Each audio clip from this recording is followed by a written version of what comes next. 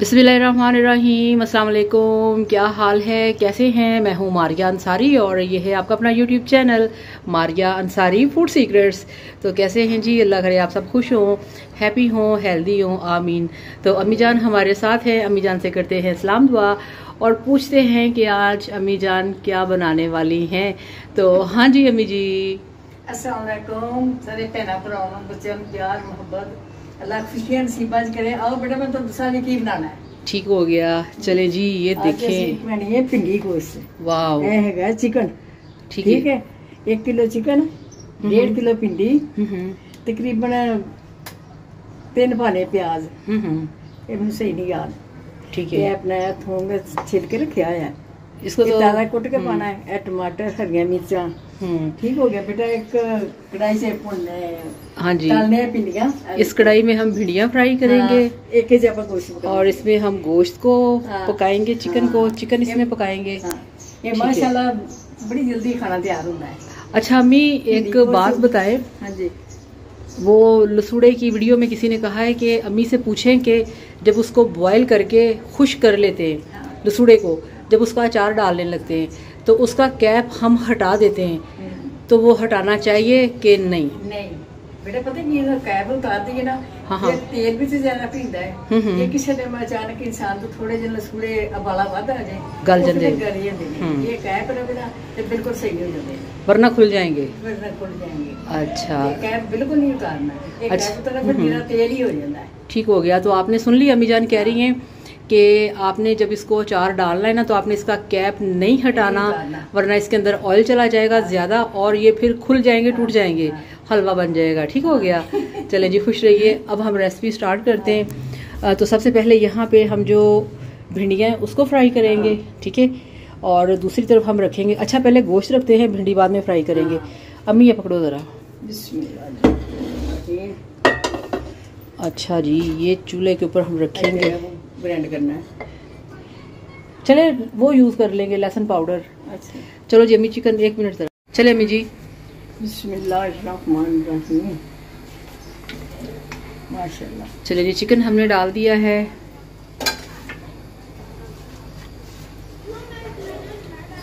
Chicken अब इसमें हम प्याज डालेंगे अम्मी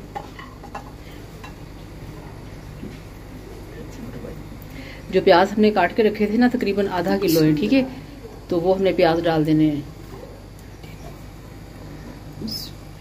और ये देखें जी टमाटर जो हमने काट के रखे थे इसमें हम थोड़े से टमाटर भी शामिल करेंगे बल्कि हाफ़ से ज़्यादा है ठीक है? और ये टमाटर कितने हैं? ये 300 ग्राम है यानी कि एक पाव से ज़्यादा है। टमाटर डाल दिए अब अम्मी जान इसमें शामिल करेंगी आ, मसाले ठीक है? ये देखें जी ये मसाले सारे हमने निकाल के रखे हैं मैं आपको बता दूँ। दो टेबल स्पून लाल मिर्च का पाउडर है एक टेबल स्पून नमक है एक टीस्पून है लहसुन का पाउडर एक टीस्पून अदरक का पाउडर एक टेबल स्पून है ये इसके अंदर धनिया पाउडर एक टीस्पून है जीरा पाउडर और ये एक चौथाई चम्मच है हल्दी का और ये दो तीन टुकड़े छोटे छोटे दालचीनी के और छोटी इलायचियाँ ठीक है? ये आपने डाल देना है। अगर आपके पास लहसुन अदरक का पाउडर नहीं तो ज़रूरी नहीं कि आप यही डालें। आप इसमें फ्रेश वाला भी डाल सकते हैं ठीक है? अब इसमें हम डालेंगे हाफ़ कप पानी। चलें अच्छा जी। अब इसको मिक्स करके ढक्कन लगा के इसको अम्मी जान ने पकने देना है।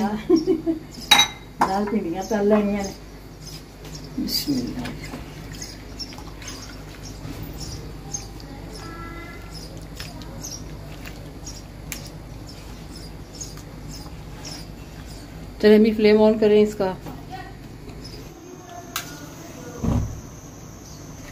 चलें ये भी इसके ऊपर ढक्कन लगा के इसको हमने पकने देना है। और इस साइड पे ऑयल गर्म करके यहाँ पे हम भिंडियाँ फ्राई करते हैं ठीक है?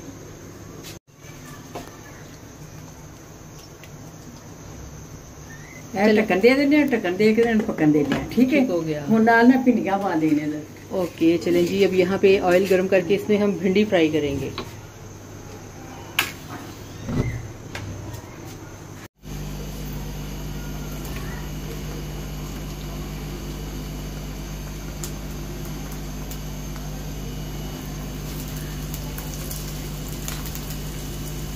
चलें जी, हाफ़ भिंडियाँ मैंने डाल दी हैं ऑयल के अंदर तो बल्कि हाफ़ से ज़्यादा हैं। अब इनको फ्राई करके, ठीक है तो फिर बाद में दूसरी वाली भी इसके साथ ही फ्राई करेंगे।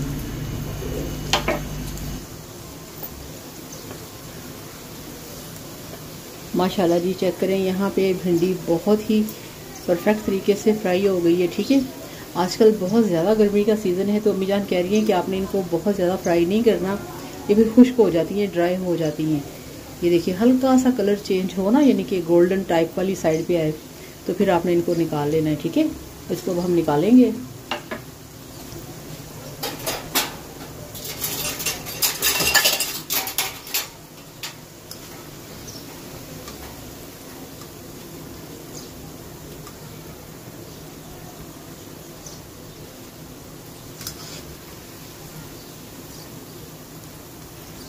ऐसे झाड़ झाड़ के निकालेंगे ना तो इसके अंदर जो एक्स्ट्रा ऑयल है ना, वो निकल जाता है।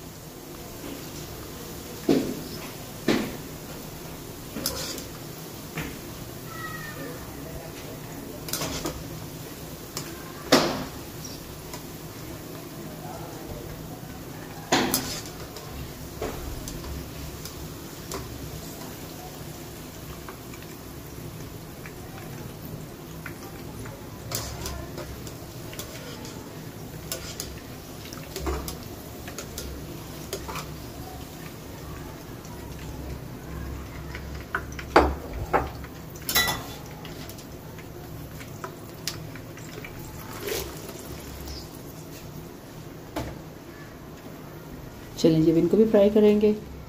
और इस साइड पे ये देखें चिकन पक रहा है इसको हमने अच्छी तरह से पकाना है, इसको हमने फुल गलाना है। और फिर बाद में देखेंगे इसका क्या करना है, ठीक है?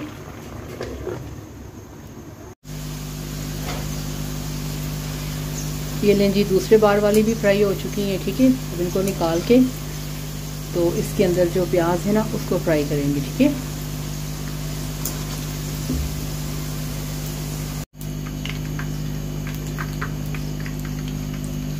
बिस्मिल्लाहिर्रहमानिर्रहीम।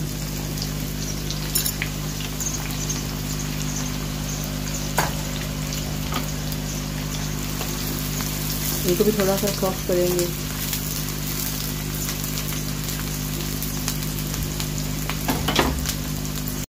ये लें जी अम्मी जान ने अपना मोर्चा संभाल लिया है, ठीक है? और ये देखिए, यहाँ पे प्याज जो है वो हमने सॉफ्ट करने हैं, ठीक है?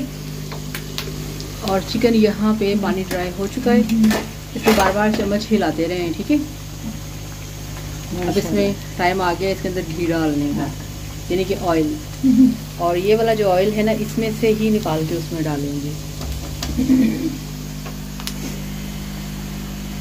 चलें जी अब यहाँ पे मिजान जो प्याज हैं उनको निकालेंगे।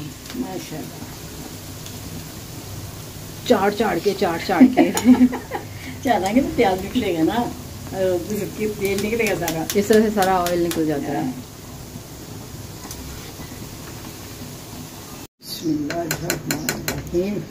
चलें जी प्याज निकल गए हैं। तो अब करना ये है कि ये वाला ऑयल थोड़ा सा कम करके ना अब चूँकि ये हांडी छोटी है ये वाला चिकन जो है हम लेके आएँगे इस वाली हांडी में ठीक है? चलें जी ऑयल कम कर लिया है। अब अम्मी जान ये देखिए जो चिकन है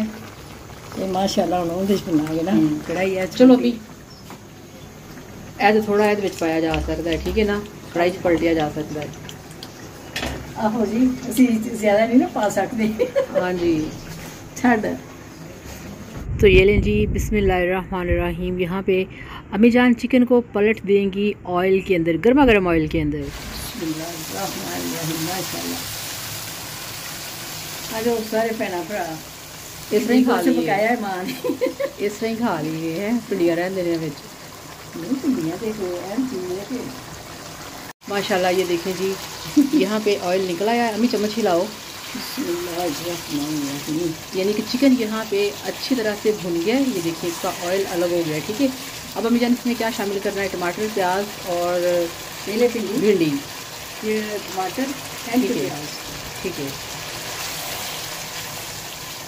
ये टमाटर पाना हरी मिर्ची कटी हुई भिंडी चलो मैं हरी मिर्चा भी पाओ चले बिस्मिल्लाहिर्रहमानिर्रहीम ऐसे टमाटर का टिकन ना। चले पहले टमाटर डाल दिए। चलो अब इसके साथ ही चलिए जी हरी मिर्ची इसमें शामिल कर दी। ठीक है माशाल्लाह अब आप इसकी ज़रा लुक चेक करें। अभी इसमें प्याज आएँगे। ये ले लीजिए मैं डाल दूँ। चलो। अम्मी ज़रा चम्मच ना करो। ओके, चलो प्लेटों पर रखो वाह क्या यमी लुक आई है, ठीक है? और ये देखें अभी ये फड़ो ज़रा।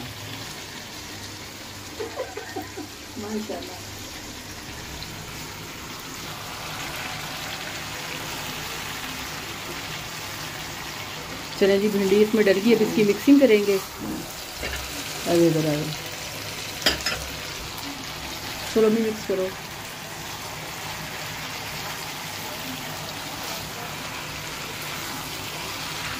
भिंडी वो है जिसमें प्याज और टमाटर थोड़े से आपको खड़े खड़े नज़र आए। कच्चे नहीं मगर थोड़े से खड़े खड़े ठीक है? बहुत ही बदलाव लग गए ना प्याज जिस जी। ये सारे मेरे भैन भरा जो भिंडी मेरे आगे से पत्ती खान देने हम्म। मज़ा आएगा। चलिए मैं इसको थोड़ा सा मिक्स करके ना तो फिर पाँच मिनट के बाद आपको दिखाती हूँ। अभी इसको हमने पाँच मिनट और पकने देना है, ठीक है?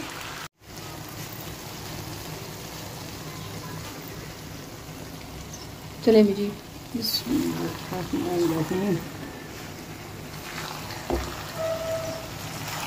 अच्छा जी, इसको ना हल्की आँच पे पाँच मिनट के लिए ना दम लगाना है, ठीक है? और उसके बाद फिर ये देखिए। माशाल्लाह माशाल्लाह।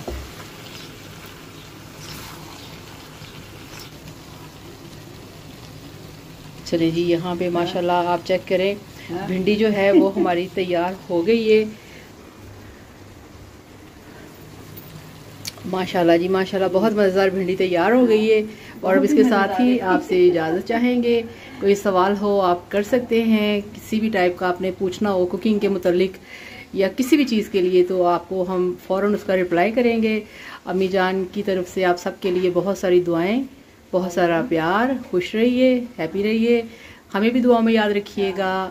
अल्लाह हाफिज़। अल्लाह हाफिज़।